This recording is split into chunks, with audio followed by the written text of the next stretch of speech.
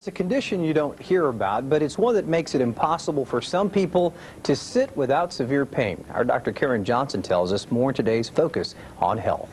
After years of trying, Celeste Slip and her husband were ecstatic to finally have a baby girl. You know, she's our miracle baby. As Celeste recovered from the pains of birth, she still experienced excruciating pain whenever she was sitting. She was frustrated by what was causing it. Usually with childbirth, it's actually the nerve being stretched between two ligaments, very broad, heavy ligaments.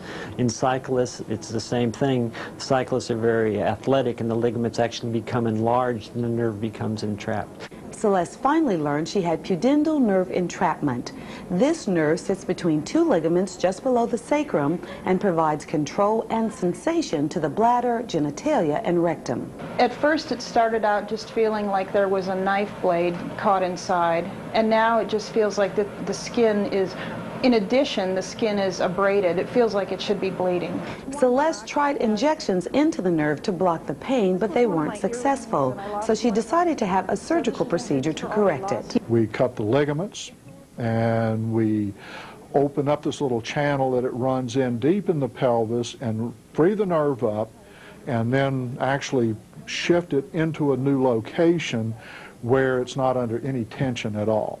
So if you're experiencing severe pain when sitting, you've seen many doctors and still aren't sure what's going on, you may have pudendal nerve entrapment. So discuss this option with your doctor. With today's Focus on Health, I'm Dr. Karen Johnson.